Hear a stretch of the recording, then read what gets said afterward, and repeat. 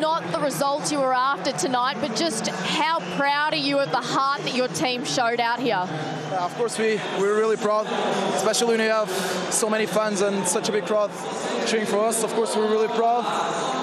More proud of the environment and what we built to here than the, the result. And our performance wasn't quite there. We did too many mistakes, and when you're playing at this level, you suffer. So we need to correct a lot of things.